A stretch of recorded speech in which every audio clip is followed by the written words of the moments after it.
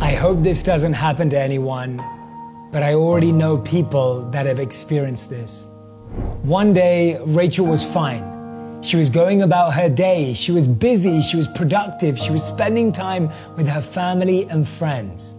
But then all of a sudden, she developed a cough and started to get a high fever, and she had no idea what it was.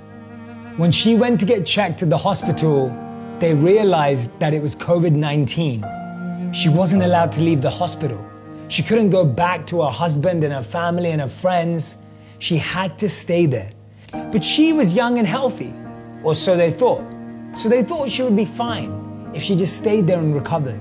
By the time you see this video, there will be over 1 million cases of COVID 19 in the United States alone, with over 56,000 deaths and over 137,000 recoveries. There are over 3 million cases in the world and over 211,000 deaths and over 919,000 that have recovered. But Rachel's story was not one of recovery.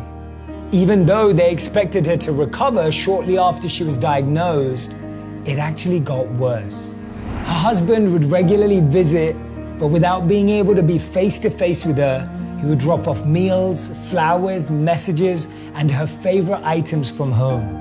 She had beaten diseases before, so the doctors believed that she'd be able to fight this one off as well.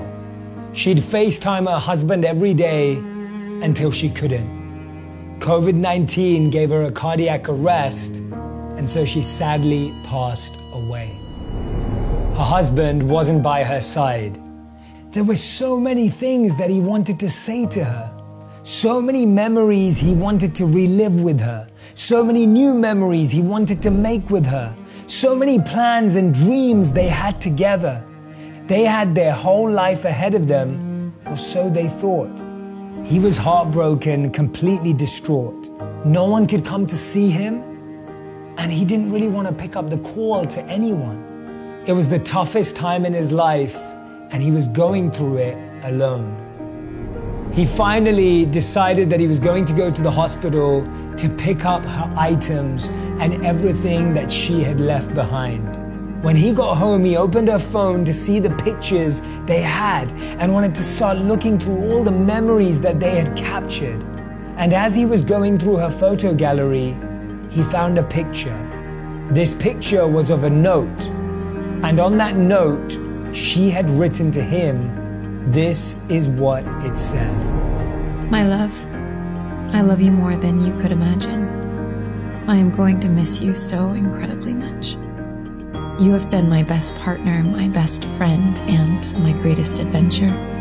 From the moment we met, I knew you were the person I wanted to spend my life with. You're the most kind hearted, generous, and caring soul I've ever known, and I'm so grateful to call you my husband. I want you to continue being the man I fell in love with. Continue living, my darling. I know this all feels scary, but I promise it's going to be okay. All my love, Rachel. The Buddha said, The trouble is, you think you have time. You never know how long you have with someone so don't waste it arguing. Don't waste it complaining and comparing and criticizing. And don't waste it fighting. Don't let your last words to someone be words you don't mean. Don't let your last interaction be full of pain. Don't let your last shared emotion be anger. Because you don't know when your last time will be your last ever.